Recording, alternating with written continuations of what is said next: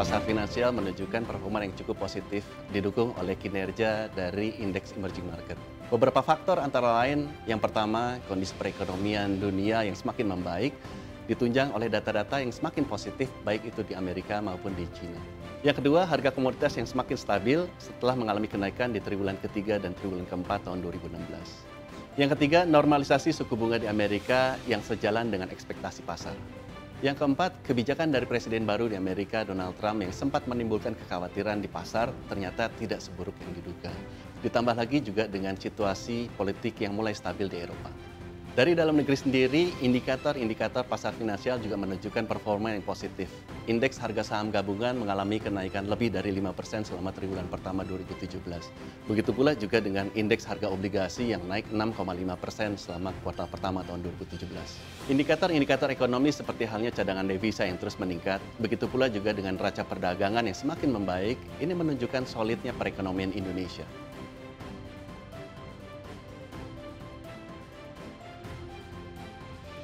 Ya, memang kita melihat prospek pasar saham dan obligasi di tahun 2017 ini masih cukup positif. Didukung oleh beberapa katalis, yang pertama pertumbuhan ekonomi yang akan lebih baik dibandingkan tahun 2016. Yang kedua, indeks kemudahan berbisnis juga cenderung mengalami kenaikan. Yang ketiga, kenaikan lembaga pemeringkat S&P untuk Indonesia menjadi level investment grade. Harusnya akan membawa dana asing untuk masuk ke Indonesia. Yang keempat, potensi kenaikan laba perusahaan di tahun 2017, di mana sudah ditunjukkan di triwulan pertama 2017, banyak perusahaan yang menunjukkan hasil yang positif dari sisi penjualan maupun juga dari sisi laba mereka. Yang kelima, diperkirakan nilai tukar rupiah juga cenderung bergerak stabil pada kisaran yang sempit. Dan ini ditunjang juga dengan kenaikan cadangan devisa Indonesia yang terus meningkat.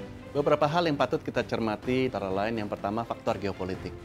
Misalnya, situasi pemilihan umum di Eropa, dan juga ketegangan yang meningkat di Syria maupun juga di Korea Utara. Yang kedua, angka belanja pemerintah yang masih rendah di Q1 2017. Kemudian yang ketiga adalah penyaluran subsidi yang bisa berdampak terhadap penurunan daya beli masyarakat, begitu pula juga berpengaruh terhadap emiten-emiten. Jadi, secara umum kami masih melihat prospek pasar saham dan obligasi di triwulan kedua 2017 ini masih cukup positif. Kami tetap positif terhadap prospek ekonomi dunia yang akan terus menunjukkan pemulihan hingga akhir tahun ini. Analis kami percaya bahwa kinerja pasar saham di negara berkembang akan positif, termasuk di Indonesia dengan proyeksi indeks di 6.150 dan EPS growth di 16,7 persen di akhir tahun. Kami melihat ini adalah kesempatan yang baik bagi nasabah untuk melakukan alokasi dana di pasar saham, khususnya untuk tujuan investasi jangka menengah ataupun jangka panjang. Nasabah yang memiliki dana dalam mata uang US dollar serta investor yang mengikuti program repatriasi tax amnesty juga dapat memanfaatkan peluang yang baik ini dengan mengalokasikan dananya pada reksadana saham dalam mata uang US dollar. Tentunya, nasabah juga harus selalu memastikan bahwa strategi aset alokasinya sesuai dengan profil resiko dan juga tujuan investasinya. Selain itu, diversifikasi portfolio tetap perlu senantiasa dilakukan untuk mengantisipasi adanya resiko volatilitas pasar. Kami mengundang Anda untuk melakukan diskusi berkala dengan relationship manager kami untuk memastikan bahwa strategi portfolio Anda sudah sesuai dengan kondisi pasar terkini dan tujuan investasi Anda.